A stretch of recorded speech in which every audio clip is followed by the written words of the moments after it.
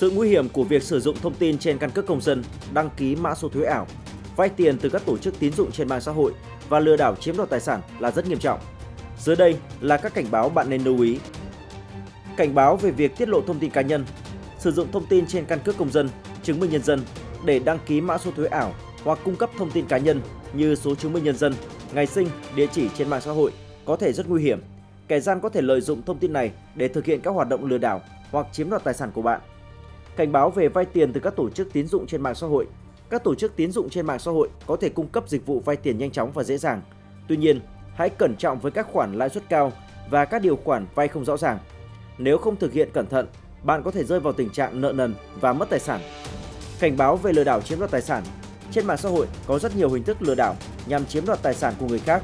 Họ có thể sử dụng các chiêu thức như làm quen, tạo dựng lòng tin và yêu cầu chuyển khoản tiền hoặc cung cấp thông tin cá nhân. Hãy cẩn trọng với các tin nhắn, cuộc gọi hoặc thông tin từ người không rõ danh tính. Biện pháp phòng tránh Để phòng ngừa các nguy cơ trên, hãy áp dụng các biện pháp sau. Bảo vệ thông tin cá nhân, không tiết lộ thông tin cá nhân quan trọng như số, căn cước công dân, số chứng minh nhân dân, số tài khoản ngân hàng hoặc mật khẩu cho bất kỳ ai trên mạng xã hội hay qua các tin nhắn không xác định nguồn gốc.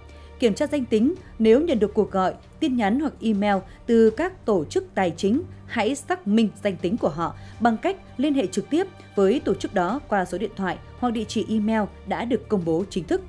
Kiểm tra mức uy tín của sàn giao dịch trước khi tham gia vào giao dịch trực tuyến, hãy kiểm tra sự đáng tin cậy của sàn giao dịch bằng cách là tìm hiểu về sàn giao dịch. Đọc đánh giá từ người dùng khác và xem xét các chứng chỉ, giấy phép hoạt động. Giữ cảnh giác và kiên nhẫn, luôn luôn giữ cảnh giác với các cơ hội kiếm tiền nhanh chóng và đừng để bị lừa bởi những lời hứa quá mức hấp dẫn. Hãy kiên nhẫn và tỉnh táo khi đưa ra quyết định về giao dịch tài chính. Sử dụng hệ thống bảo mật mạnh mẽ đảm bảo rằng bạn sử dụng phần mềm bảo mật mạnh mẽ và luôn cập nhật phiên bản mới nhất để bảo vệ thiết bị của mình khỏi các mối đe dọa trực tuyến.